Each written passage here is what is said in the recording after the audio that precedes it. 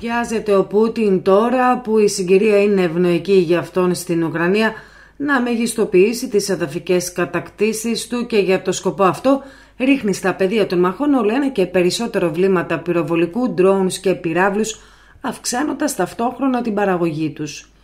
Σύμφωνα με τον Βάλερη Κασίν, τον εγκέφαλο πίσω από την κρατικά ελεγχόμενη μονάδα πυραυλικών συστημάτων της Ρωσίας, η κατασκευή του τακτικού βαλιστικού πυράβλου 9K720 Iskander έχει ξεπεράσει προφανώς τα ποσοστά των περασμένων ετών. Ο πύραυλος παράγεται σε πολύ μεγαλύτερους αριθμούς από ό,τι σε οποιαδήποτε προηγούμενα χρόνια, δήλωσε ο Ρώσος εκπρόσωπος της εταιρείας.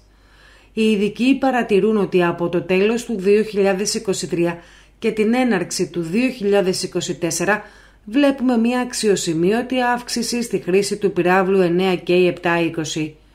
Είναι σύνηθες να βλέπουμε διπλά χτυπήματα, εξηγούν οι ειδικοί, υπονοώντας τη ρωσική στρατηγική εκτόξευσης δύο πυράβλων 9K720 κατά του ίδιου στόχου.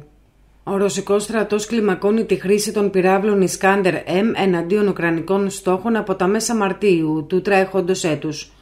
Μόλις πριν δύο μέρες το 9 και 7-20 έπληξε την πόλη της Οδυσσού της Νότιας Ουκρανίας ένα εξαιρετικά σημαντικό εμπορικό λιμάνι, προκαλώντας ζημιές σε διοικητικά κτίρια.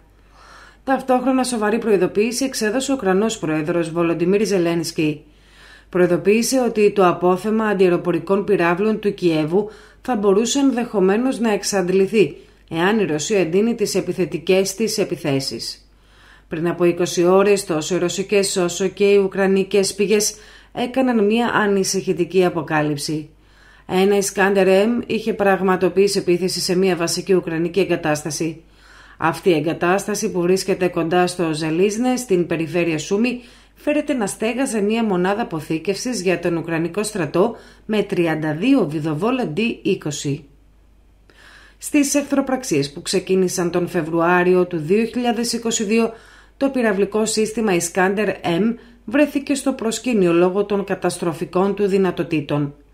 Στις 9 Μαρτίου πέτυχε ένα σοβαρό πλήγμα, στοχεύοντας και καταστρέφοντας το πιο πολύτιμο στρατιωτικό περιουσιακό στοιχείο της Ουκρανίας, ένα αμερικανικό πυραυλικό σύστημα MIM-104 Patriot μαζί με ένα σοβιετικό σύστημα εράμινας S-300. Το συμβάν εκτελήχθηκε στην επίμαχη περιοχή του Ντονένισκ όπως φαίνεται από βίντεο.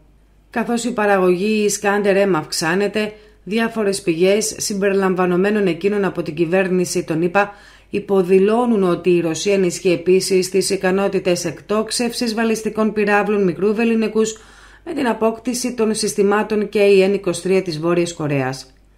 Αυτά τα συστήματα μοιάζουν εντυπωσιακά με το Iskander M σε σχεδιασμό και λειτουργία. Ωστόσο, προσφέρουν πολύ μεγαλύτερη εμβέλεια και ωφέλιμο φορτίο. Ευχαριστούμε που μας παρακολουθήσατε. Για να λαμβάνετε πρώτοι όλες τις νεότερες εξελίξεις, κάνετε like και εγγραφή στο κανάλι μας.